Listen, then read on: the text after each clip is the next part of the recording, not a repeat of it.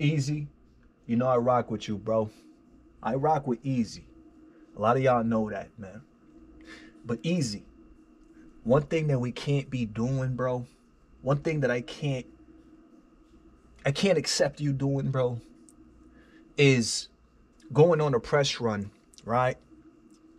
To challenge people's opinions, right? and to tell people that their opinion is incorrect, bro. This is why battle rap cannot, it's impossible that battle rap is a sport. It's impossible because battle rap is subjective, bro. It's based on how we feel and what we think as individuals. Also, Tay Roc and Eazy, I don't know what you guys got going on. I don't know if this is some kind of promo for a battle that you guys might have planned or whatever the case is, man. But you guys are going awfully crazy on each other, bro. I'm hearing Tay Roc throwing the Frank stand around, bro. I'm hearing Tay Roc inviting Eazy to the Frank stand. I'm hearing people calling each other names that I'm quite sure we wouldn't be calling each other in person. So let's talk about it.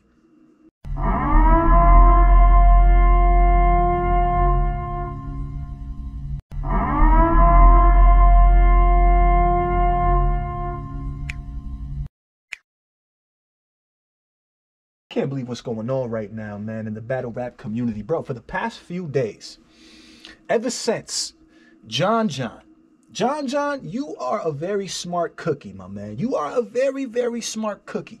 You're like a chocolate chip cookie, because chocolate chip got the light skin and the freckles. The chocolate chips is the face. You, you, you are a very smart chocolate chip cookie, my man. I see what you was doing, bro, with this whole leaking of this audio on the same day of the battle before the Eazy the Block Captain battle, bro. Ever since this battle went down, I feel like there's been a lot of uproar. Because for one, we have Eazy the Block Captain, right? Who is dead set on the fact that he 30 John John. On the other end, we got John John Da Don, who is dead set on the fact that he 30 Eazy. Eazy, my man. Before we even get to you and what you're doing right now, going on a press run and getting mad at people's opinions, bro, John John, I see what you was doing, bro. And even though you might not admit it, I know that you are not going to admit it. I've seen you on the 3Letterman interview already, and he asked you about it. If this was strategy, if this was part of a plan, or whatever the case is, drop that audio. Even though you might not admit that it absolutely was part of a strategy and a plan, I can see right through that, bro. And I see exactly what the intent or the intention was behind dropping and releasing that audio. The intention was a lot of people are going to see this, primarily people in the battle rap community a lot of the people that are going to be tuning into the Eazy versus John John battle are going to be among the first to come across this audio because it's part of the battle rap community. It's something that's happening between Eazy and John John. Oh snap, they're battling later today. People are already paying attention to what's going on, waiting for the battle. So anything that pops up on YouTube regarding Eazy and John John is probably going to do pretty good numbers because it's the day of the battle. So John John, you already know this stuff. We already know this stuff. The intention behind you dropping that audio was to make people perceive Eazy in a different way right before the battle. Because the entire time, right, ever since that whole Remy situation and Papoose and P- Paul Poos putting the paws on Eazy and blah, blah, blah, it's been a rumor in the community. It's been something that people have rapped about for a long time. So these are the things that John Jonathan is going to touch on specifically in the battle. So he releases this audio with the intention of the culture perceiving Eazy as a liar, perceiving him as a liar. Because one of the main things that was said in this audio is something about Eazy having done something with Remy Ma. Eazy also says something about two clean Johns. You got two clean Johns on him or something like that, right? So those two specific things right there are addressing two of the things that Eazy's been supposedly lying about ever since the Remy situation, right? Somebody like me believes that that whole Remy and Eazy thing is a rumor, but a lot of the culture believe that it was true. As well as the whole Papoose situation. Nobody ever saw any footage or video, so there was never any actual proof, like physical proof. But Eazy has been denying, denying, denying those rumors. So the intention behind releasing the audio was to literally make Eazy look like a blatant liar, bro. Now, the battle rap community, I feel like, is easily swayed sometimes, is easily manipulated, right? So a lot of people are going to hear this audio and then they're going to watch the battle. Then what John John is saying to Eazy to, Eazy the Block Captain is going to line up with the audio because again, it's a strategic, it's planned out. At the same time, the image that we had of Eazy, that potential, that that that little bit of hope that some of us had that this wasn't true goes out the window. This is the intention behind releasing the audio. Now, what this does is it changes the perception of Eazy right before the battle. Right before the battle, this audio changes the perception of Eazy. Now the culture, and I'm seeing this happening on social media, I'm seeing it happen on Twitter, I'm seeing it happening on YouTube. Everybody is now calling Eazy a liar, bro. Everybody's now on social media talking about, oh, Eazy admitted he got Paul punched. Oh, Eazy admitted that he cracked. Oh, he's a liar. Oh, blah, blah, blah, blah, blah, blah, blah. I'm seeing this happen in real time. Now, the people, right, that are watching the battle because they listened to this audio and now believe or, or heard the fact that Eazy's a liar, are primarily most likely going to be picking John John as the winner. Why? Because again, if you get exposed for being some kind of liar, or whatever the case is, bro, that takes away credibility from you. It takes away believability from you. It's almost like, oh, Eazy got exposed for lying, so now we can't even listen to what he says. Eazy got exposed for lying, so now we know what he's saying is all cap. Blase, blase, blah. So I see, I see what the intention was and what the purpose was. John John, you are a very smart guy, bro. Almost too smart, bro. The fact that John John denied that that was the case on 3Letterman, bro, surprised me because John John, you could have easily admitted that, yes, that was absolutely the case. It was all part of the plan. Honestly, I would respect that because that's a very smart plan. I would respect it. But I see what the purpose was. Now, Eazy, part of Eazy's argument, right? Even though I don't think or necessarily 100% agree that Eazy should be doing this, going on a press run or doing all this stuff to point out the fact that this was the case, right? Pretty much being kind of like a, uh, because a lot of people feel like Eazy lost. So Eazy doing what he's doing kind of makes him look like a sore loser. It makes Eazy look like he thinks or he feels he actually lost that battle. So actually, before I even keep going, that's a it's it's it's a it's a bad perception of you, Eazy to be doing that because that tells us people like me that see through things that you feel like you lost. If you if you have to go up and debate and argue that you won the battle and tell people that you won the battle and even people like 3Letterman, he feels like John Joe and you're arguing to him, telling him that you, it makes it look like you feel like you lost the battle. But besides that point, Eazy's making a point as he's going around making his rounds. And he's pointing out the fact that this was in fact the case, bro. A lot of the votes or a lot of the people that voted specifically on like Twitter polls and things like that are people that were swayed. A lot of people were swayed to vote in John John's favor because of this whole audio situation and blase, blase, blah. This is what this is what Eazy believes. And you know what? I understand what you're saying, Eazy the Block Captain. Trust me, I get it, bro. But this is battle rap. There's no rules here. There's no rules. There's no NDA that says that John John couldn't release an audio and blase, blase. So Eazy. Eazy, Eazy, it Eazy. I'm saying this, and you know I rock with you, bro. I do. I do, bro. That Cheesecake Factory line, bro, that you had, bro, you had some, you had some good material in that battle. But I just can't accept the fact that you're trying to tell people how to think. Or the fact that you're trying to sway people to, to, to make them vote that you won, regardless of why they feel you lost. One thing that we need to understand, and this is and this this brings me back to like when people like Tsu Surf try to compare battle rap to like basketball, bruh, It's impossible to compare battle rap to basketball for this exact reason, bruh. Right now, we're witnessing the exact reason why battle rap is not a sport, bro. As much as y'all want to believe and people want to say and follow what Tsu Surf says and oh, it's basketball and oh, LeBron James and but no. In basketball, if you make the basket, you get two points.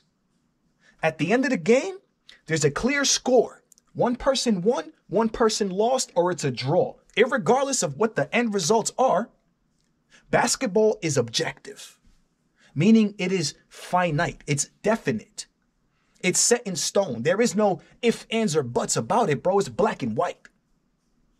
That's sports.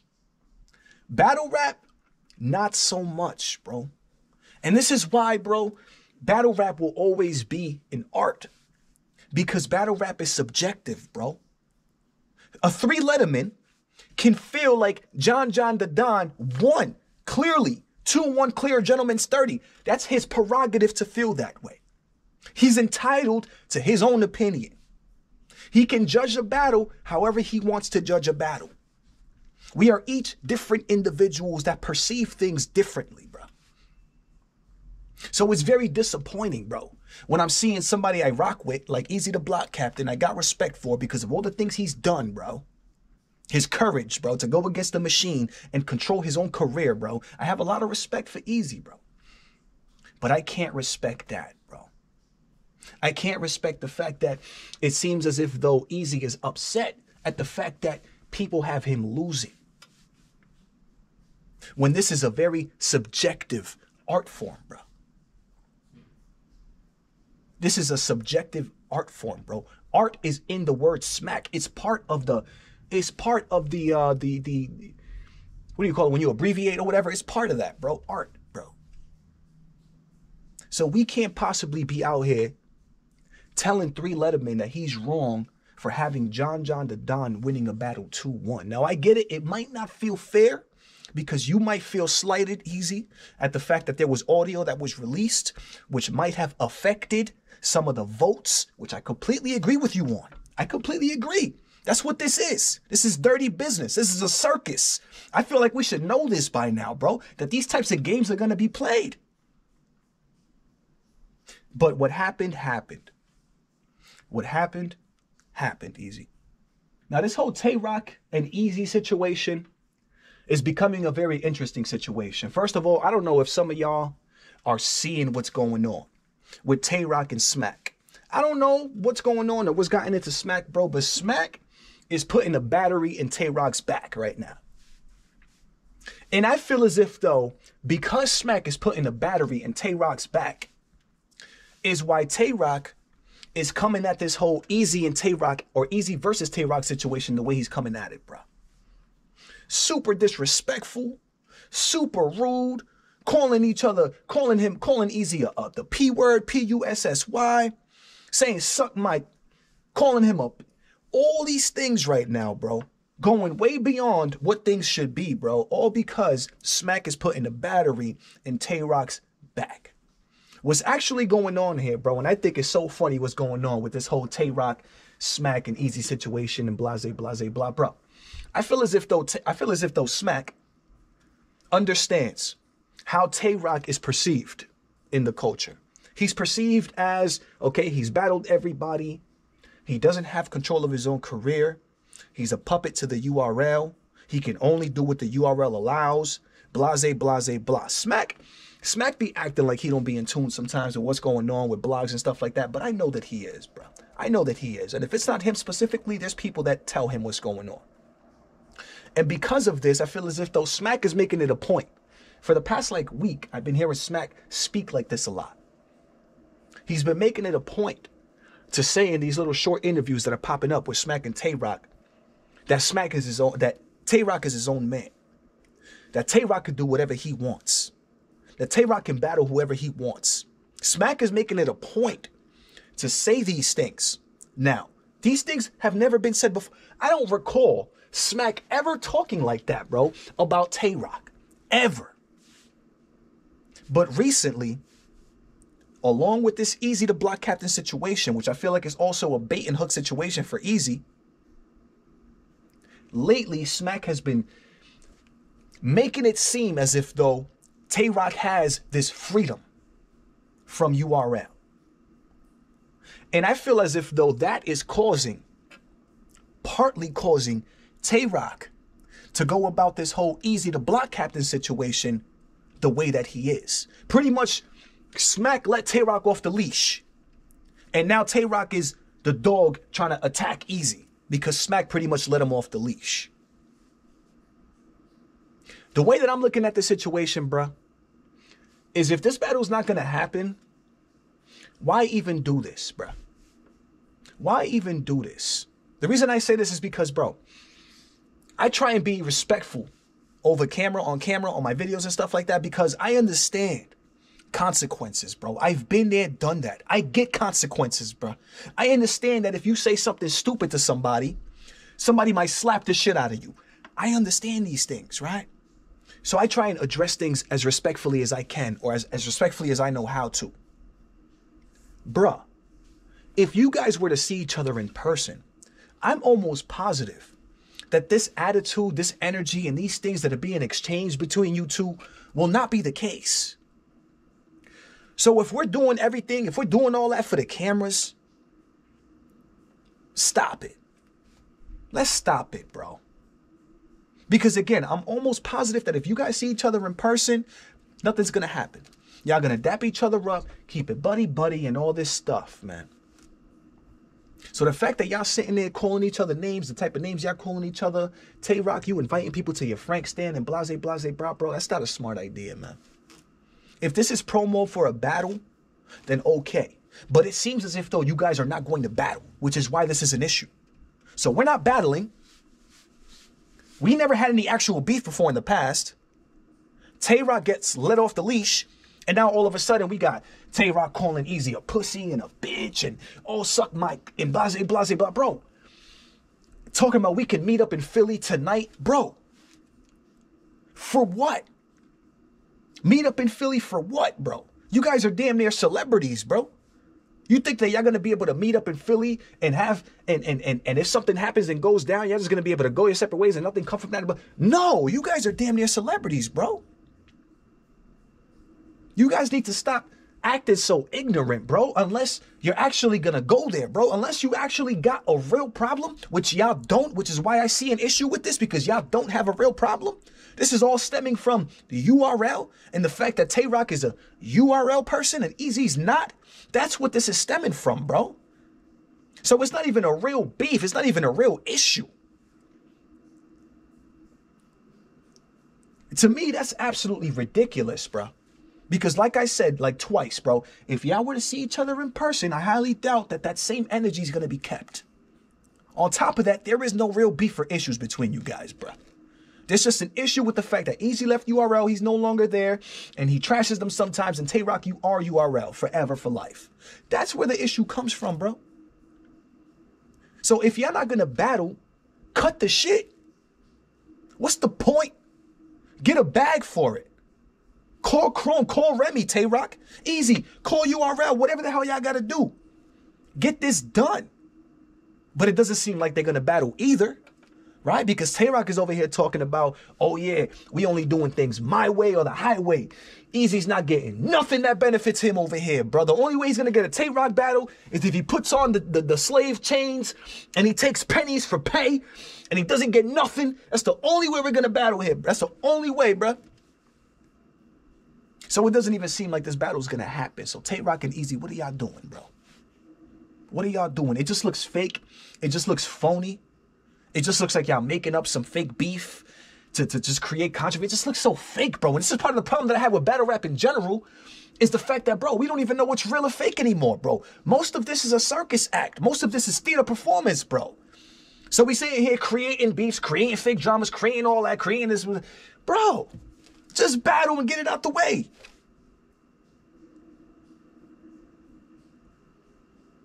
I ain't gonna hold y'all. I ain't gonna hold y'all. As of right now, as of right now, that whole A side and B side conversation, I got Eazy as the A side. I got Eazy as the A side, bruh.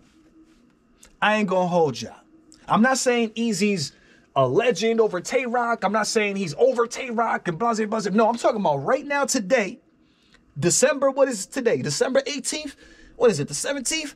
Whatever day it is today, 2023, Eazy's the A side over Tay Roc, bro. That's it. Tay Roc hasn't done enough this year to be the A side. He's done enough throughout his entire career to be the A side. But I don't think Tay Roc has done enough this year to be the A side over Eazy the Block Captain. I'm not gonna hold y'all. Eazy has completely dominated this year, bruh. Whether it's been through blogs, whether it's been through through turning his back against the machine, whether it's been how many battles he's had with how many bigger people, whether bro, in every way, shape, or form, statistics wise, Eazy is the A side over Tay Roc this year, bruh. Period. So Tay Roc, Eazy, are y'all gonna make this battle happen, bruh? Or y'all gonna keep sitting there throwing the Frank stand at each other, bro? Just talking ish and not getting to the business, bro. Not getting to the bag, bro. If y'all not gonna get to the bag and get to the battle, bro, leave each other alone, man. Leave each other alone, bro. The biggest. Let me know what y'all think, man. You already know what it is. It's your boy Joe coming at you live and direct from the battle.